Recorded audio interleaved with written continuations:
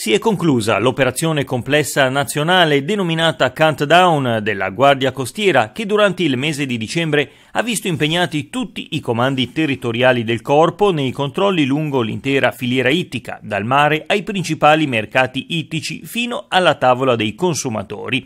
In ambito ligure, sotto il coordinamento della Direzione Marittima di Genova, anche l'Ufficio Circondariale Marittimo di Loano Albenga ha intensificato la vigilanza sulle attività di pesca in mare, in banchina, presso i punti di sbarco e lungo tutta la filiera ittica commerciale, effettuando verifiche e ispezioni finalizzate al contrasto della pesca illegale e delle frodi in commercio, per la tutela degli stock ittici, dell'ambiente marino e del consumatore finale.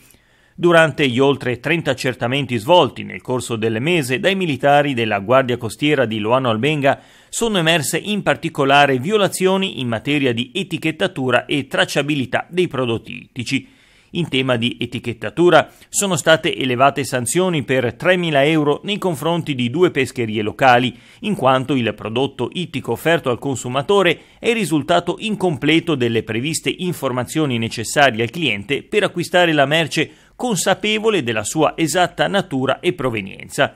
In materia di tracciabilità è invece stato sanzionato il titolare di un ristorante etnico, in quanto nelle celle frigo il personale della Guardia Costiera ha rinvenuto circa 30 kg di prodotto ittico destinato ad essere consumato crudo privo delle informazioni che consentissero di accertarne la corretta provenienza. Il titolare è stato sanzionato per 1500 euro e il prodotto ittico è stato sequestrato.